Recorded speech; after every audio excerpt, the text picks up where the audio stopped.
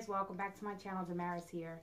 So guys i've been getting a large amount of requests on how i do my brows. So i decided to go ahead and record a video showing you guys how i fill in my brows and what i use step by step. So if you guys are interested to see how i get my brows stay tuned. Just showing you here what my brows look like done with my brow pomade. Ah! And this is what I look like without an eyebrow. Um, as you can see, my eyebrows are extremely sparse. I am missing a lot of hairs. I have some spots that have no hair at all. I'm going to be brushing through so you guys can see how thin my brows are. Um, I used to shave them completely once upon a time and draw them in with a pencil. Um, and I have let them grow, um, grow in and this is what I've gotten. Um, and I do usually shade them in be before I remove any hair because I don't want to pull out any extra hair. So starting with the Anastasia brow pencil, I'm sorry, brow brush in the number 7. This is the double-sided. It has a spoolie on one side and a brush on the other. This is what I'm going to use to fill in my brows. Also going in with the Anastasia brow pomade. And this is my favorite brow product and I'm in the color ebony which is a dark um a little darker than a, the dark brown. And this is what's left which this um is gonna last me a while. The product that I have just in the middle of the pot that I'm just picking up that product alone right there in the middle will last me at least three maybe four uses because a little bit of this product definitely goes a long way. So notice I'm not starting all the way in the front of my brows. I start right at this angle here and I take the brush and I brush it straight back. Then I go back in and then I fixed my um my tail of my brow. Always start here. I never start in the beginning of the brow then I'm not picking up any extra product. I'm using whatever's on my brush.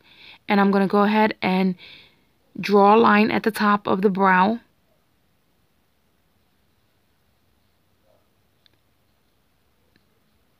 Then whatever product again that's left on the brush, you'll see I'll be fading it into the brow and just um, filling in any uh, bald spots in my brow. Some spots I actually have to create Obviously, my brows don't look perfect because, like I said, I used to shave my eyebrows off completely.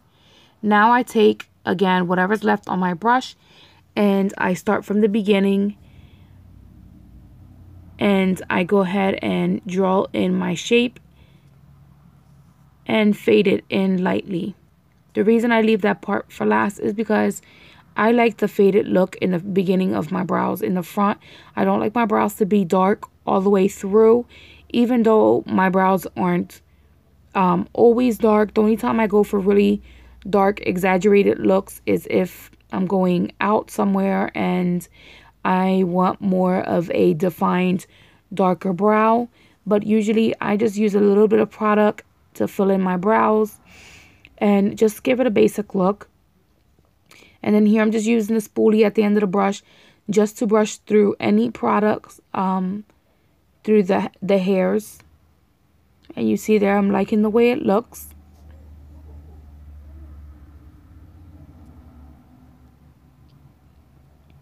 Now going in with this flat definer brush by Sigma. It's an E15. And this is a flat um, brush. And it's very makes it very easy to clean up your brows.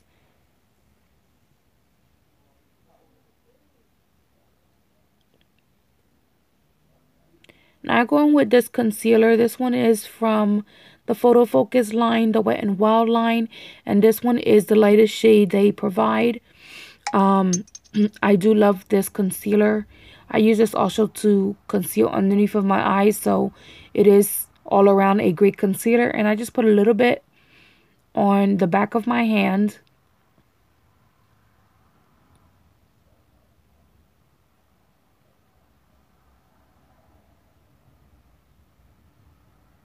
and then I just pick up a little bit of product onto the brush and I'm going to use that to clean up my brows.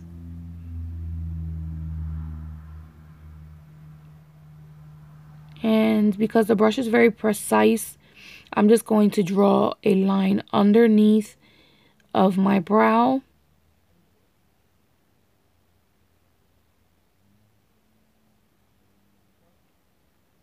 and putting this concealer underneath of the brows actually actually gives it a cleaner look. It gives it the appearance um, of like a fresh wax look. Um, also the lighter color actually highlights the brow bone and just makes it um, makes your eye look a little brighter. Excuse my voice guys. I know it sounds a little raspy. I'm actually just getting my voice back. That's why i haven't really recorded but um, to continue with this. After I make that line underneath the brow, I don't want to leave that um, amount of concealer there. So I just take that brush and I pull down the product. Then I use my finger because the warmth of your finger is going to help the concealer blend in easier to your skin. And I'm just going to blend that out very well.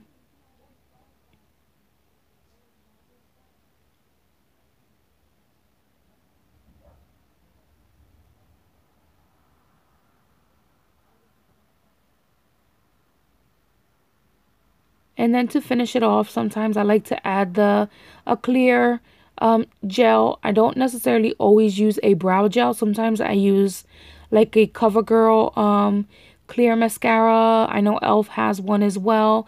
Just a clear uh, mascara just to tame the hairs down a little bit.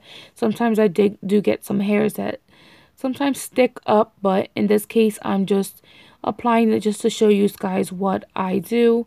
But again, it's just not an everyday thing. I don't do it all the time.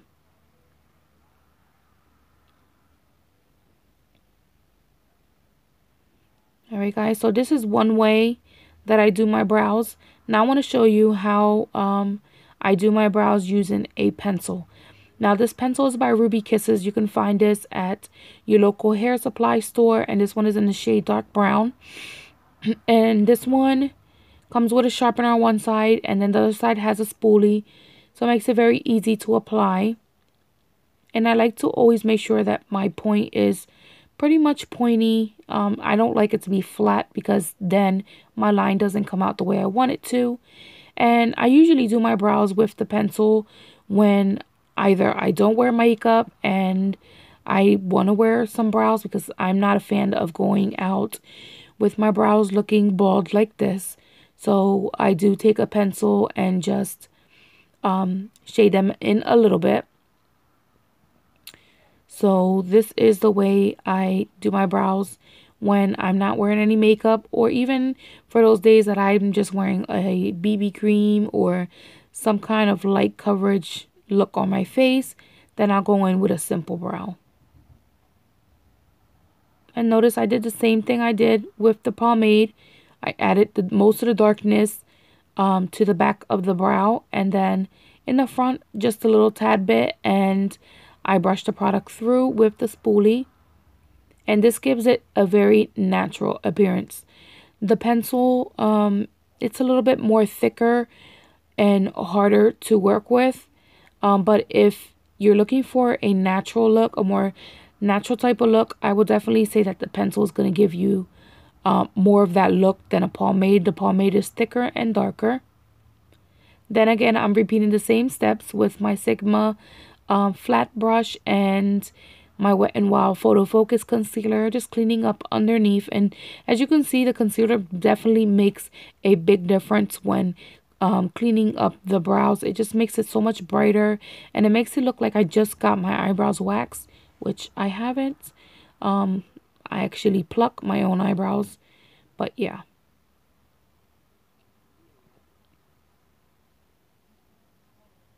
And then just going back in with the spoolie and just making sure everything looks um, the way I want it. Now, guys, just keep in mind, this is the way that I do my eyebrows. Not everybody does their eyebrows exactly the same. Not everybody has the same taste. On the on your left, where I have my eyeshadow done, I have my brow pomade. And then on the opposite side, I have the Ruby Kisses um, pencil. Now here, I just want to show you guys a couple items that I use. Very affordable. Some are very affordable. This is the Ulta Brow Pomade. And this was recommended to me by a friend on a makeup group page that I'm on, City of Beauty. And then this one is my ultimate favorite, my Anastasia Brow Pomade in the shade Ebony. That is definitely my favorite. I also have tried the one by Milani. Um, it does work okay. Um, the only thing I don't like about the Milani one is that the product dries out in the pot and then you have to throw it away or find a way to revive it. Then, of course, my pencil, which I love. And these are basically the products that I use. I hope you guys